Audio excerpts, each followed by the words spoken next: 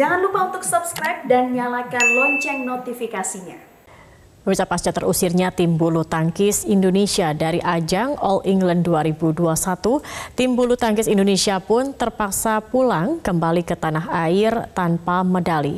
Komite Olimpiade Nasional pun berniat menggugat BWF ke arbitrase internasional dan telah bergabung bersama kami Ketua NOC Indonesia Raja Sabta Okto Hari. Selamat sore Mas Okto. Mas Okto, ini informasi terakhir yang kami dapatkan uh, eh, NOC Indonesia akan menggugat BWF ke arbitrase internasional. Sudah sejauh mana proses ini, Mas Okto?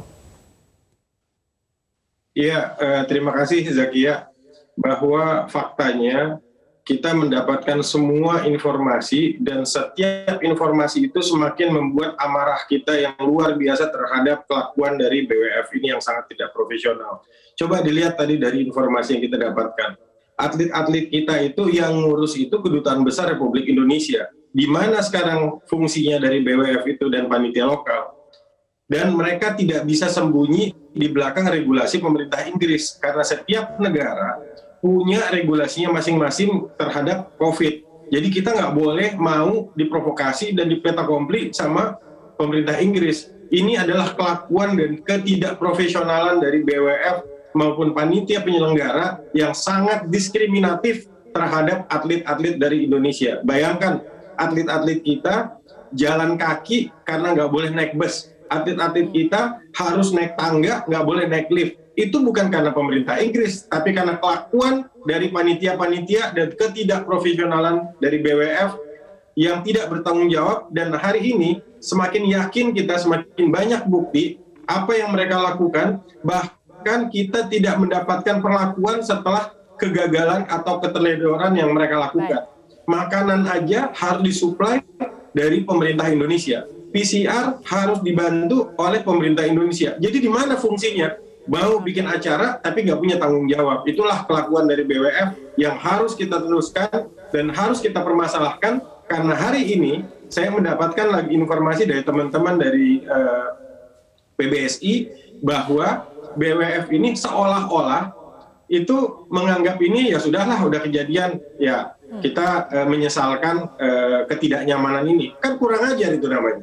Okay. Saya berkoordinasi dengan uh, Presiden Asia Badminton Federasi Anton Subowo dan sepakat bahwa ketidakprofesionalan ini diberikan kepada negara kita membuat amarah dari masyarakat badminton bukan hanya di Indonesia tetapi di seluruh dunia sehingga mereka menginisiasi gerakan yang namanya Black Shuttle Hmm.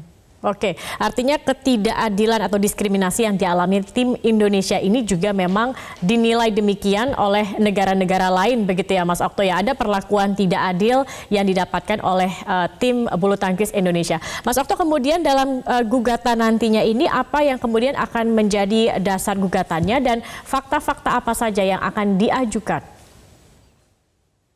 Semua fakta-fakta kita kumpulkan setelah anak-anak kita. Sekarang kan yang pro, yang menjadi sangat prioritas adalah bagaimana uh, para atlet kita bisa kembali dengan sehat dengan selamat sampai ke tujuan di tanah air. Itu yang menjadi prioritas utama. Dan juga bagaimana selama menunggu mereka dapat ditangani dengan baik gitu. Saya dan kami dari keluarga besar Komite Olimpiade Indonesia mengucapkan banyak terima kasih kepada uh, Dubes Desra Percaya dan juga terhadap Bu Retno Marsudi, uh, Menlu kita, karena Bu Retno yang sangat proaktif sejak awal berkoordinasi dengan Pak Menpora Zaidun Ambali untuk memastikan keadaan anak-anak kita di sana. Nah sekali lagi ini membuat kemarahan. Kemarin saya cukup intensif berkomunikasi dengan Ketua Umum PBSI dan kita sepakat bahwa ini tidak boleh didiamkan karena hari ini si BWF sendiri itu seolah-olah tidak eh, seolah-olah melepaskan tanggung jawab. Mereka melemparkan kepada panitia lokal, kepada panitia dari uh, All England, dan juga menyalahkan regulasi Inggris. Jadi seolah-olah mereka berusaha berusaha untuk kita, dan tetapi tidak bisa uh, apa-apa terkait dengan regulasi yang diatur oleh pemerintah Inggris. Kan itu ngawur. Pertanyaannya sekarang, mereka udah ngapain? Mereka nggak ngapa-ngapain. Yang mereka lakukan adalah kebodohan terhadap keteledoran mereka terhadap uh, kegiatan yang sangat prestisius yang namanya All England. Oke, baik. Kemudian uh, Mas Okto, uh, sebenarnya pernah tidak terjadi hal seperti ini begitu ya ketika sebuah tim dalam negara mendapatkan uh, perlakuan yang tidak adil dan sanksi apa yang kemudian bisa dijatuhkan kepada uh, BWF. Dan tentunya juga mungkin uh, NOC sudah memiliki strategi kah begitu dalam pertandingan-pertandingan uh, selanjutnya misalnya ajang Olimpiade mendatang seperti itu. Ini ini apa yang akan dilakukan semua uh, se sehingga tidak terjadi lagi begitu hal-hal yang kemarin terjadi di All England ini? Ya, justru inilah yang menjadi objektif utama kita. Kita tidak mau apa yang terjadi di All England ini menjadi presiden yang nanti dibawa ke kegiatan-kegiatan selanjutnya termasuk ke Olimpiade. Saya hari ini berada di Dubai dan tadi malam saya sudah berkoordinasi dengan OCA yang sepakat bahwa hal ini tidak boleh dibiarkan. Kita akan bersurat ke semuanya. Sekali lagi Zakia, kalau kita diam, kalau Indonesianya diam, kalau tidak ada effort apa-apa, ini akan hilang begitu saja. Ini tidak boleh diabaikan. Bahwa kita akan menyuarakan keteledoran ini kepada semua pihak, baik itu kepada semua NOC yang ada, yang aktif untuk badminton, kita akan menyuarakan ini ke OCA, kita akan menyuarakan ini ke IOC dan bahkan ke arbitrasi internasional. Oke, baik. Artinya ini salah satu strategi juga untuk uh, menghilangkan atau tidak lagi terjadi di masa mendatang ataupun di ajang-ajang selanjutnya hal seperti ini. Tapi terkait sanksi itu ada tidak sih mas sebenarnya sanksi yang bisa dijatuhkan kepada BWF seperti yang anda katakan tadi dengan perlakuan yang diskriminatif seperti ini? Oh jelas, oh jelas. Ini kan pernah terjadi pada saat badminton uh, di Malaysia itu uh, tidak menerima uh, satu negara masuk untuk berpartisipasi di Malaysia. Itu sanksi itu diberikan sangat keras oleh IOC.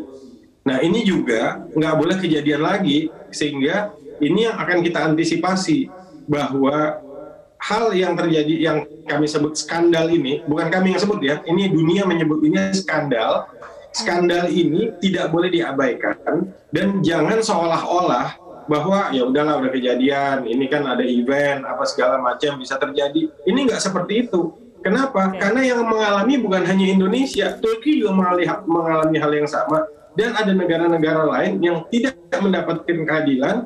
Akibatnya apa? Kita melihat bahwa ada aktivitas diskriminatif yang terjadi dan ini akan kita teruskan sangat tidak sesuai dengan semangat sportivitas maupun semangat olimpiade. Nah, kami melihat kalau IF-nya dipimpin oleh orang-orang seperti ini, kita nggak bisa membayangkan nanti sampai ke Olimpiade 2021 nanti di Tokyo atau Olimpiade atau kegiatan-kegiatan selanjutnya. Baik, baik terima kasih Raja Sabta Oktohari Ketua NOC Indonesia sudah bergabung bersama kami di Metro hari ini.